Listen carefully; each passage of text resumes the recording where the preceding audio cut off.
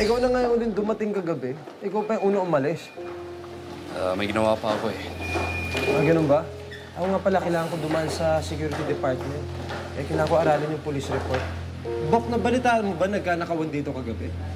Oh? May nahuli ba? Wala daw eh, pero dalawa daw yung nakapasok. Yung isa daw nabaril ng guard, pero nakatakas din.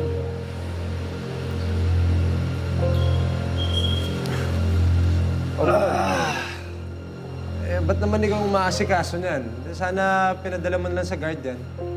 Wala to, tol. Office supplies lang. Hingi nga sana akong tulong kay JR eh.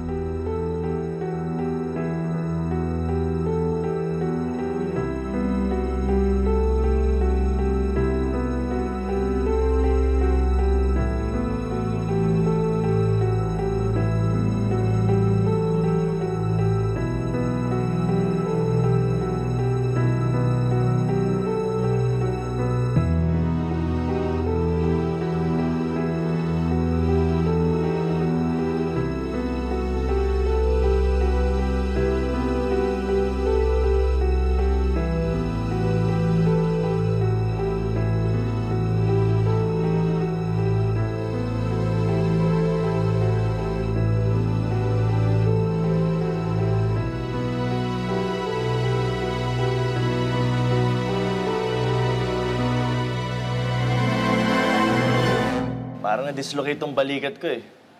Pero mukhang kayang-kaya mo to, di ba, JR? Alam mo, Paul, mabuti pa ipaasikaso mo na lang yan sa guard dahil nga bawal kami ni Jen magbuhat ng mabigat. Eh dahil nga sa operasyon namin. Ganun ba? Pero wag na natin iasa sa iba yung mga kaya natin gawin, di ba? Bakit di na lang tayo magbuhat nito?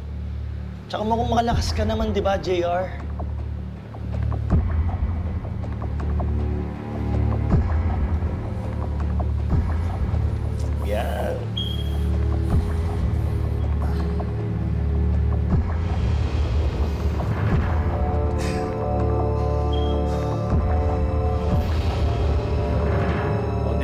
Kaya-kaya mo.